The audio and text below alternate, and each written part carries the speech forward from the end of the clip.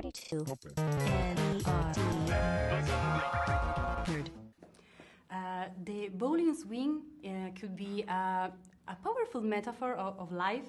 So I want to know, in your opinion, what is the secret to do the perfect bowling swing? Perfect swing? I don't know. What do you think?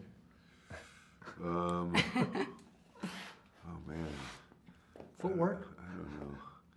I'm such a bad bowler. I'm a terrible, terrible bowler.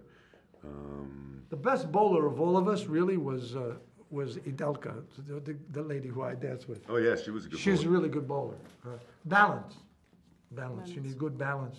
And uh, the ball, if you throw it straight, goes this way. But if you throw it this way, it curves. I don't think that's actual advice.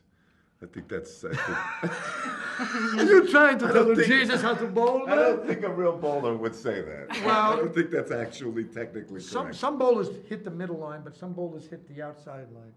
You- Some you- bowlers do a spin though. Yeah, yeah, you spin it. You don't so. know it. We can't do that. I, I try to do it. It depends. Uh, but yeah, good vision and good balance.